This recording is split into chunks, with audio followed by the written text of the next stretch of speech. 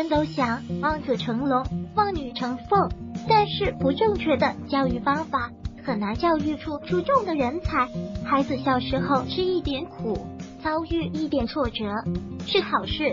如果我们怕孩子吃苦而承担孩子的责任，虽然免掉了孩子的哭闹和纠缠，但剥夺了孩子培养良好品格和发展自我能力的机会，危害很大。以下这几种妈妈非常的辛苦，但是养出的孩子却很容易叛逆，不和妈妈亲近。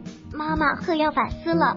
过分愧疚型妈妈，中国家长在放手孩子自由成长时，则充满焦虑，容易愧疚自责。孩子在受到挫折时，妈妈为了安慰孩子，都是把责任揽到自己身身上，为的是让孩子少点愧疚感。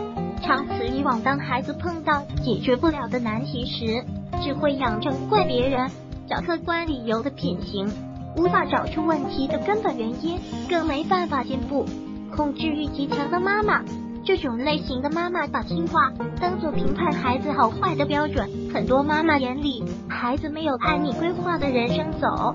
随心所欲的表达自己的想法，做自己的决定就是叛逆。这类妈妈为了让孩子按自己的想法发展，对孩子的状况置若罔闻。教育的核心是疏则通，堵则灵。孩子若很难活出自我，会觉得很迷茫，只有更加依赖父母，求助怎么做。长期以往是一个恶性循环，热衷攀比型妈妈。这样的妈妈总是拿自己的孩子。和朋友、邻居的孩子攀比一番，除了物质，最重要的是成绩的攀比。人家的孩子去了补习班，不管自己孩子喜欢与否，也去报名。孩子考了前三名，就把一二名的学生当成自己孩子孩子的标准。长此以往，孩子把眼睛只盯着分数，只懂得吹嘘，不知为何学，不懂学以致用。还奴型妈妈。某些父母一生都在为孩子打拼，为子女忙碌，为子女挣钱，失去了自我价值体现的生活状态。这样的家庭会增加孩子的匮乏感和愧疚感，造成孩子同金钱的关系沉重艰难。还奴性父母对孩子的成长比远大于利。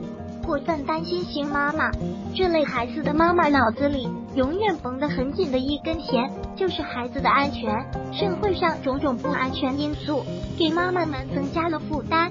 其实处处担心，既是诅咒。